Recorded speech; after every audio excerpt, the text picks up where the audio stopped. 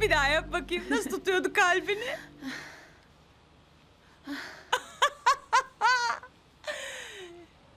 ne konuştuklarını duymadın öyle mi? Yok. Ben buluşmanın sonuna yetiştim. Nihal Hanım'ın öyle yukarı çıktığını gördüm. Behlül Bey de durdu durdu arkasından çıktı. Güzel. Çok güzel.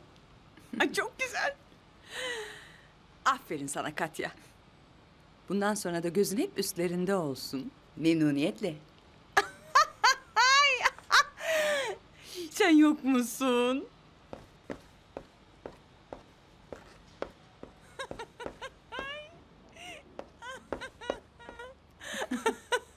Bayılıyorsun böyle şeylere.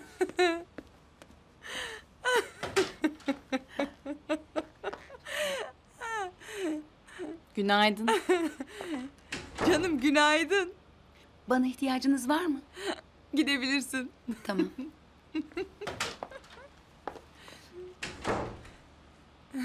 Çok neşelisin bu sabah. Evet, keyfim yerinde. Hayrola?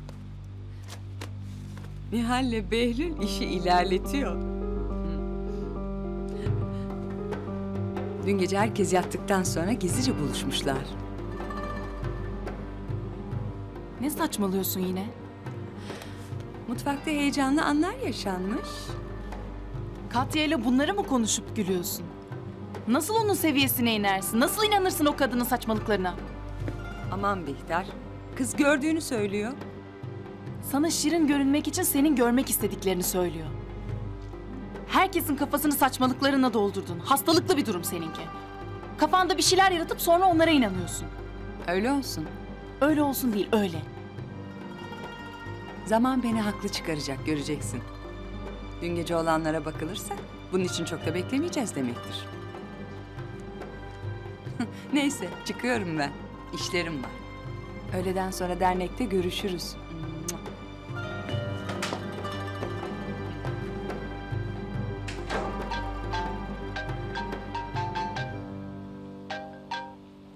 Efendim, Canım günaydın. günaydın. Nasılsın? İyiyim. Biz işimizi hallettik, dönüyoruz. Havaalanına gidiyoruz şimdi. Güzel. İndikten sonra doğrudan holdinge gideceğim. Halletmem gereken bazı işler var. Akşama gelirim ancak. Tamam.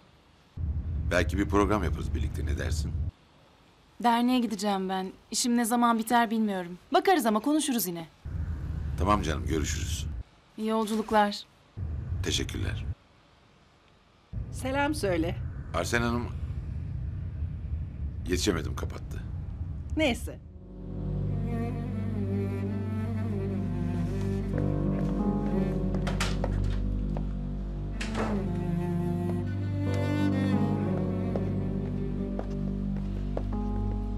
Günaydın. Günaydın.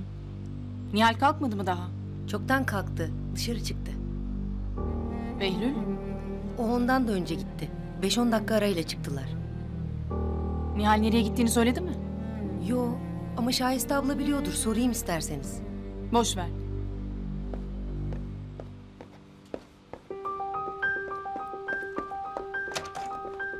Kanalımıza abone olarak tüm videolardan anında haberdar olabilirsiniz.